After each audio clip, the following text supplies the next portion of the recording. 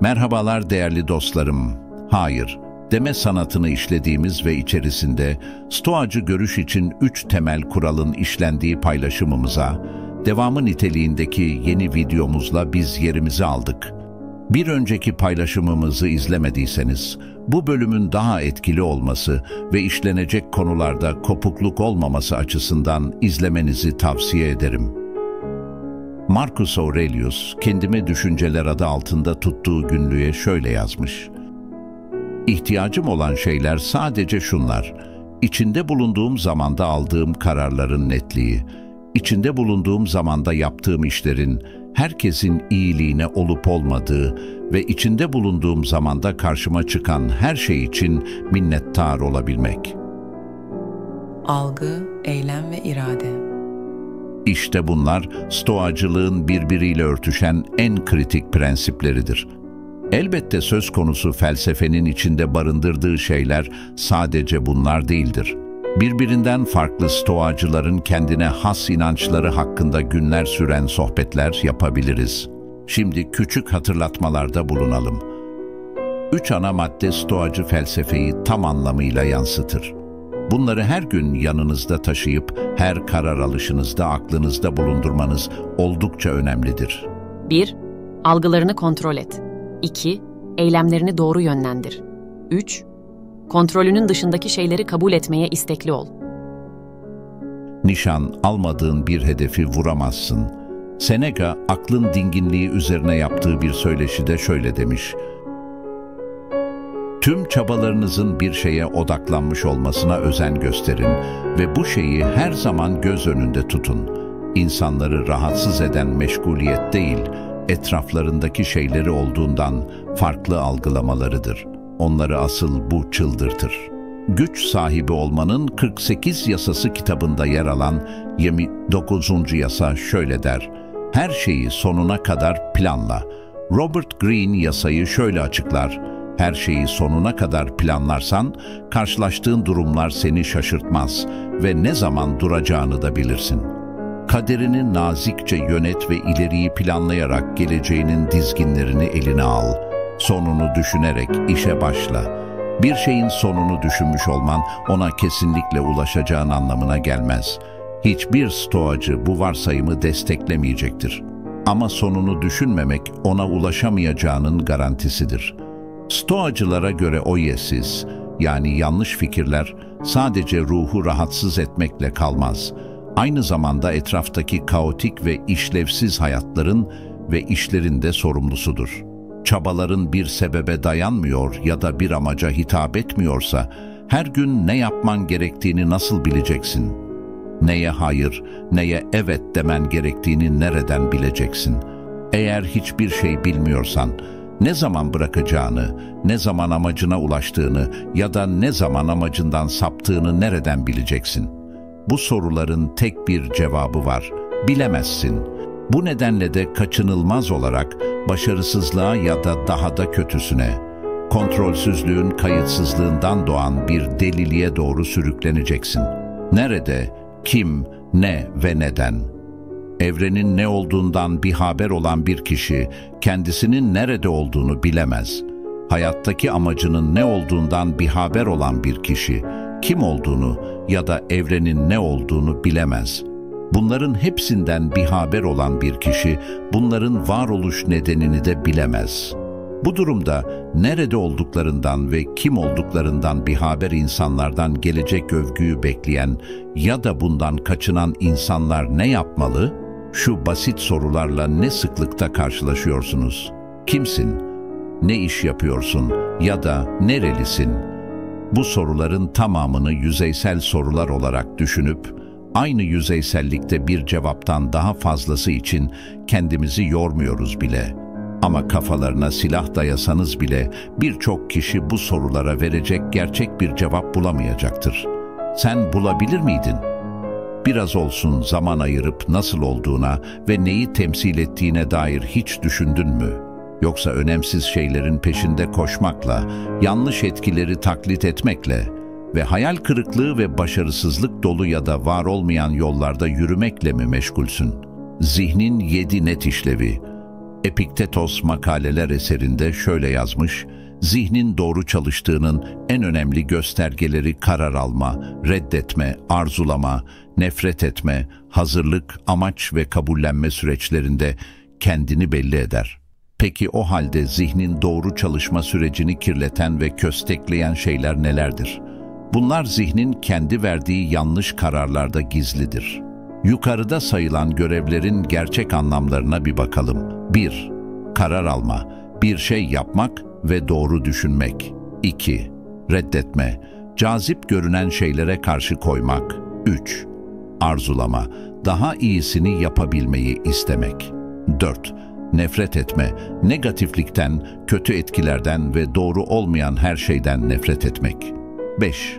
Hazırlık, karşımızdaki şeylere ya da gelecekte olabilecek şeylere karşı kendini hazırlamak. 6. Amaç, yol gösterici ilkemiz ve en büyük önceliğimiz. 7. Kabullenme, kontrolümüzde olan ve olmayan şeylerin yanılgısından kurtulabilmek ve kontrolümüz dışındaki şeyleri kabul etmeye hazır olmak. Bunlar zihnimizin varoluş sebepleridir. Zihnimizin bu şekilde çalıştığından emin olmalı ve bunun dışında kalan her şeyi kirlilik ve yozlaşma olarak görebilmeliyiz. Bağımlılıklarımızı görmek. Bağımlı olduğumuz ve iyi şeyler olarak gördüğümüz birçok şeyden vazgeçmeliyiz.